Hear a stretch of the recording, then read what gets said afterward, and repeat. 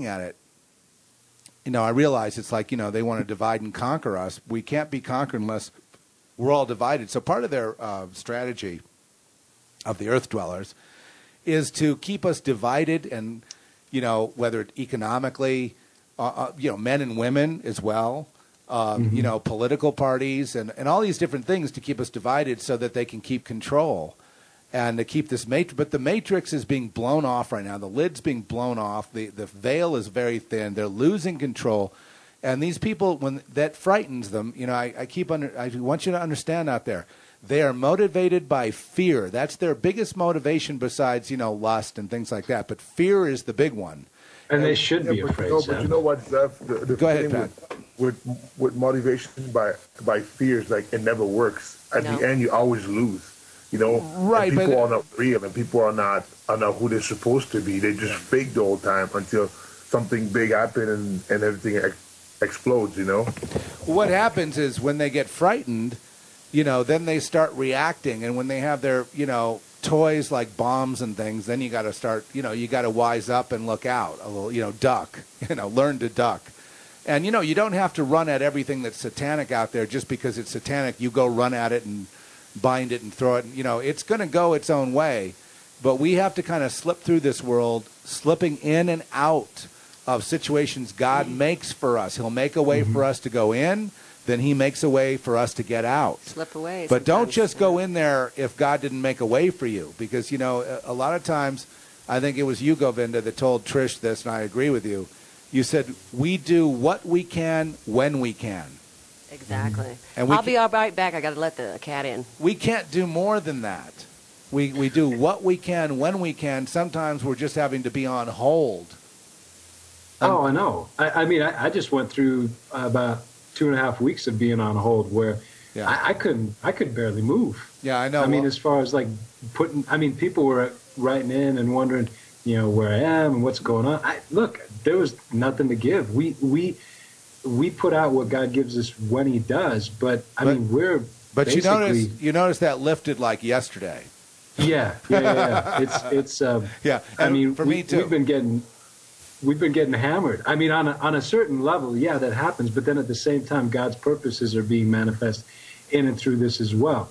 Uh, But Zeph, the thing too with all of this is is that when we do engage, I mean, we're fierce. You know, when we do engage, we trump the entire deck. Yeah, um, well- because God gives us that power. Well, one of us can can stop the uh, you know can stop something from happening. Like okay, for example, Absolutely. if God puts you into a middle of a crowd, say at a boxing event or a concert or something, and you know, and then all those demons start rolling around, and you, one of us is there, it can't happen.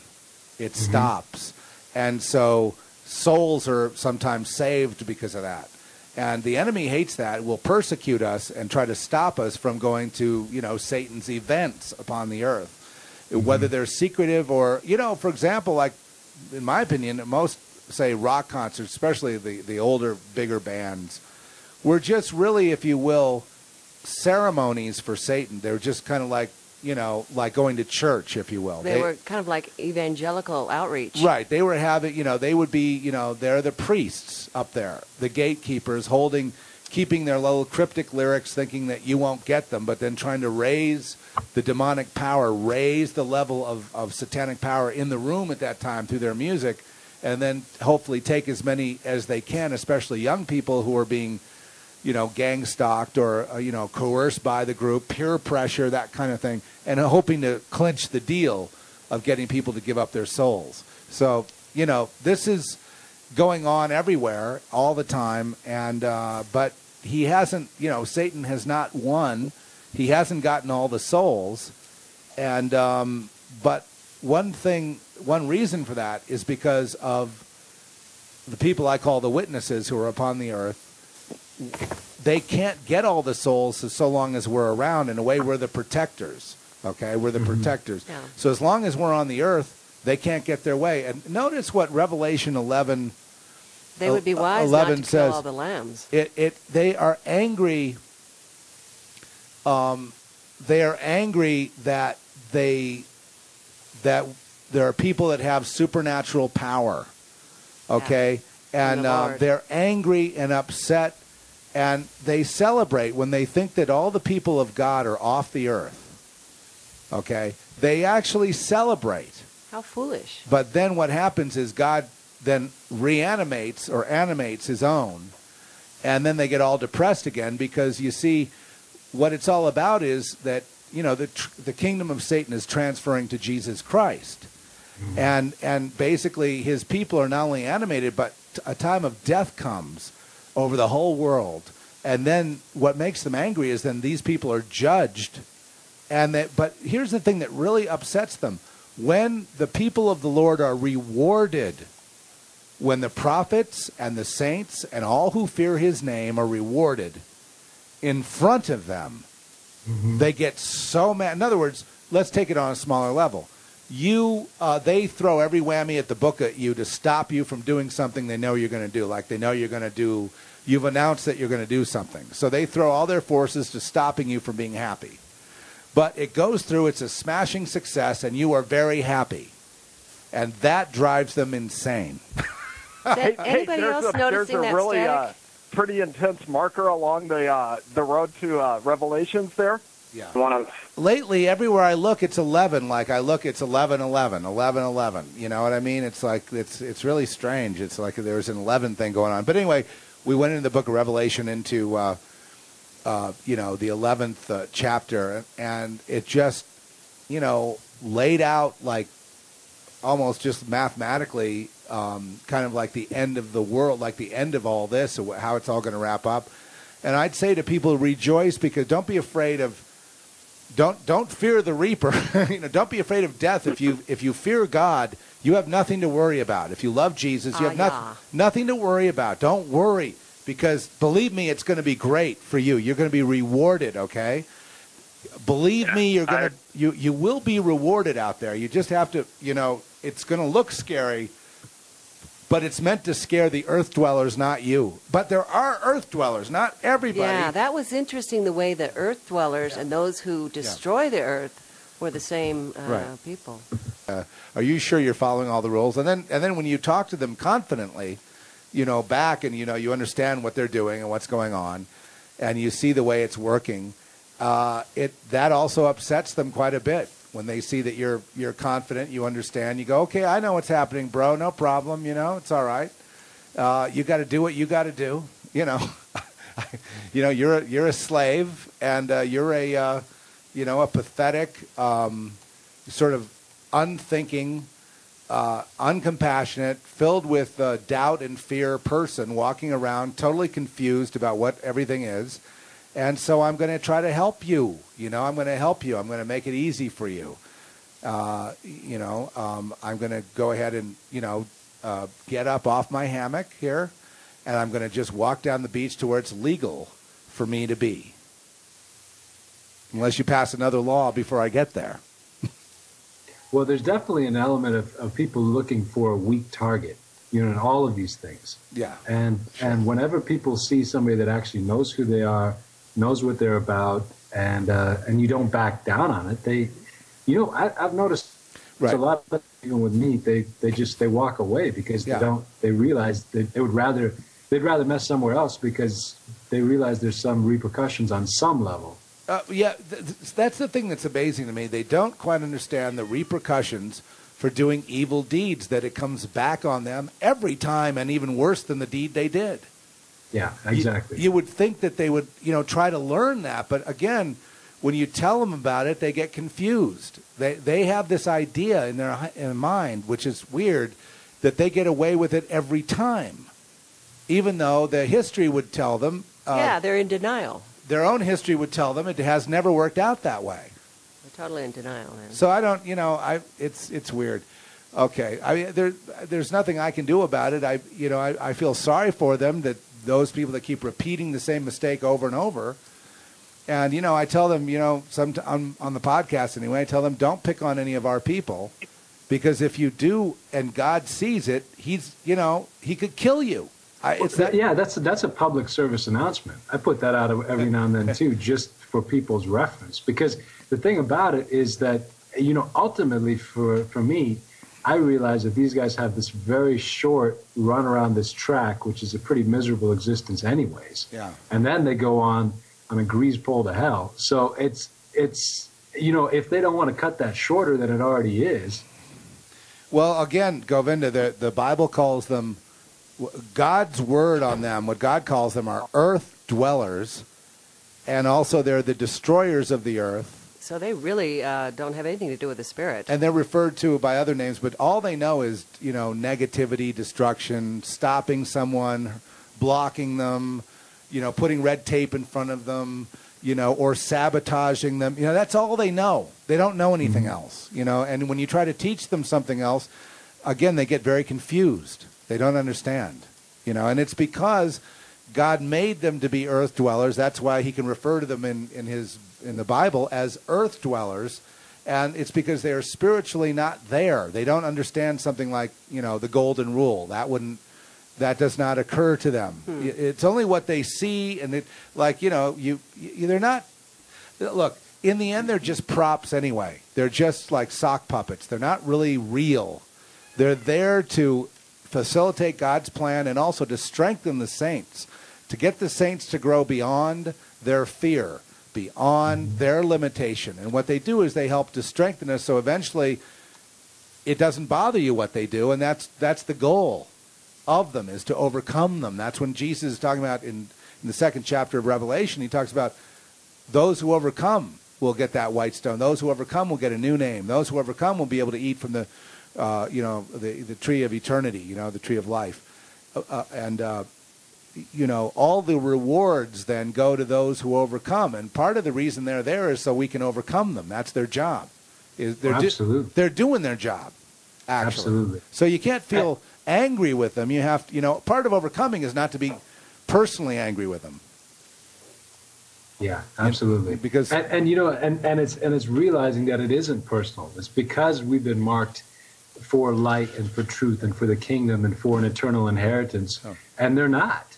yeah. Right, and they get mad at that. And you know, again, back to back to my touchstone today is Revelation eleven. Uh, it it says what what angers them is that um, what, what angers them is that the, the wrath of God is coming to the earth. Okay, it's going to be a time of the dead. All right, that the dead should be judged. You know. And they are they are the dead, okay? They are the dead. It's the time of the dead that shall be judged. That's them. And that also what angers them is that there's a reward given to the servants, the prophets, and the saints, and all those who fear the name of God, small and great, um, are rewarded. And that drives them completely and almost to suicide. And one one more thing that drives them nuts, Zeph, too, is the fact that the realization that they've chosen it. They had to choose. They will. Yeah. they will, they will come to that at some point sooner or later, which is the realization that all of this has been their choice. So even even when they wind up in eternal separation from God, that was their choice. And so, I mean, what we encourage them to do, um, even as they're stabbing us in the front with a smile on their face, is look, you don't have to choose to be like that. There is another way. Yeah, well, that's the whole idea of martyrdom is to, to show them through love and strength of God and the power of God, even though we are being slain. That our, you know, just like Stephen when he was stoned, he taught. He, they were all very afraid when they saw Stephen's reaction. You know, they, they couldn't believe it, and it probably he converted about a thousand people. That you know, just from that, you know, not not only then, but throughout the ages through the Bible, that story has probably converted many. Richard Wurmbrand, you know, when they were torturing mm-hmm. him, his his reaction to them converted many a guard to Christ. Because you see, the thing is, he didn't have to defend anything. He'd already gotten, you know, he already was ready to receive his reward. He's already receiving his reward. He knew who he was. And so they, they couldn't shake him out of that through torturing him. And so then they become afraid, and some of them go right to their knees. And then that's a glorious day. We, and we love that. That's what it's all about. But we can't save our own lives because l- let me ask anyone out there a question. Let's say you had your own life and you could do whatever you wanted. What would you do? I mean, you know, because we're all kind of limited because, you know, they limit us as much as they can. But what would you do? What's the goal here? Yeah. I'd be lazy as hell if there were no if, if there were no adversary out there. I would be totally lazy. Right. You wouldn't. de- Yeah, you wouldn't. that's de- a good point. You wouldn't develop into Yeah. the spiritual warrior you are. we need we need to be tested. We need to be. Uh, But I mean, what, tried. what would be the goal if you could do anything you want? Okay, let's say you could be like arrange stuff with magicians. I've, I've been around a few of them, and they're completely. They got power from the dark side, and yeah, there is power to get, but that power is temporary, and it's fading and it's dying. And in this day and age, now where we are going into the tremendous judgment, because everything that's happening and going to happen the next few months is actually going to be accounted to God's side for judgment against you know, uh, as vengeance against, you know, those who persecute his saints. And he's going to, you know, his children, he's going to avenge that. And that's what I believe you're seeing now. I'm, I don't think you're seeing them having all these victories. And even, uh, you know, with all the tornadoes we've seen and the fires and all the, I think these are all warning shots across the bow right now that he's coming. You know? So that's my take on it. John, time for you to chime in, buddy. Okay, just uh, listening to what you said, uh, somewhere in the New Testament it talks about these people being uh, like brute beasts. Yes. oh, we're seeing a lot of that now. Yeah. No, I'll tell you, it's a new perspective on there. Just opened my eyes up to it. That yeah, without these people here, uh, one God it wants to give us a reward, but we have to earn it. And so the only way to earn it is to go and have these people out there um, who are in our way, in God's way, uh, Right. persecuting us and stuff. Yeah, it does work out that way. But it ends up all working for good because, you know, everything that he has spoken to happen does happen. And we know how it ends and we know he rewards his own. So, look, folks, just remember love the Lord, fear the name of God, fear God, love the Lord, love Jesus, uh, be washed in his blood, be baptized by the Holy Spirit of fire now. Be baptized by that spirit of fire right now in the name of Jesus and live, and you will be rewarded. But yes, there will be a little persecution, which is obviously, compared to everything else going on, it's incidental compared to the big picture. It's just part of our development. It's part of our character development. It's part of de- developing our souls, preparation for kingdom life, preparation to be His children. We need to go through this, and you know. But anyway, uh, all right. Hey, Zeph. Also, uh, I was looking in the Bible one time, and at the beginning of the New Testament, you know, had one of those little Rhema things, and it talks about the New Testament of our Lord and Savior, and the word "and" came in two separate things. Yeah. Our ruler, the one we obey, and our Savior, the one who saves us from the wrath to come. And yeah, and the thing is, is the transfer is on. The whole um, book of Revelation is really telling us something else that there's a, going to be a great transfer of all the nations and all the kingdoms upon the earth to God, to the Creator and Christ. It's all going that way, and um, you know they know it. They're upset about it, but it, it's there's nothing they can do about it. And so this is their final kind of death rattle, and they're going to be very dangerous and very evil and very awful. But try to keep your eye on the prize, people. I know that is a cliche. Do you all? Do I get a big amen? Amen. Amen. Amen. Yeah, you won't hear any any disagreement from our brothers here. You won't get any disagreement at all because it's this is what is going on. This is the you know this is the you know as they say the the you know in boxing this is the main event. And- Well, you know, Zeph, something too that people can do if, if you're struggling with this whole thing. David talked about teaching a man to number his days. And, uh, you know, if, you, if somebody just sits down and says, okay, how much longer do you think this life is? Exactly. Calculate out how many days it is. I, I saw a post that uh, Brother Thomas did where he talked about just the number of hours Yeah. that a person's life might might be. Yeah, that it's not interesting. that long. It's Kind not of that adds up long. to six, six, and, and it and if, if that's for a 75 year life, yeah. And and most of us have lived a chunk of that already. Yeah. So I've it's already- just like you yeah. say, okay, how many hours do you think this thing will go on for? Um, it's not that much. So, you know, the people of God to overcome, God's not asking us an impossible task. He's asking us just to trust Him to get into that place and to be about His purposes for that window that we still have. here. All right, uh, Govinda, you've got the last word. Hey guys, I got to let you all oh go. my gosh. God Is bless you already? all. It's Thanks, time to. Pat. Thanks, Govinda. Hey, love you. Thanks, Thanks, everyone. We love you. Thanks, God John. Okay, there they go. I really had to, um, you know, get out of there because we got to turn it around.